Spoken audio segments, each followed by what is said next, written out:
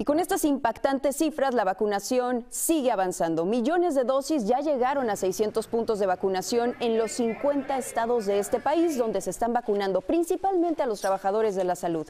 Muchos de ellos están recibiendo con mucha alegría este momento, vea usted.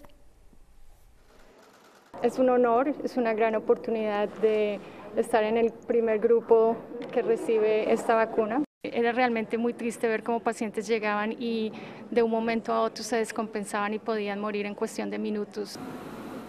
En tanto, la vacuna de Moderna podría obtener este viernes la autorización de emergencia por parte de la Administración de Medicamentos y Alimentos y comenzar así a distribuirse cuanto antes.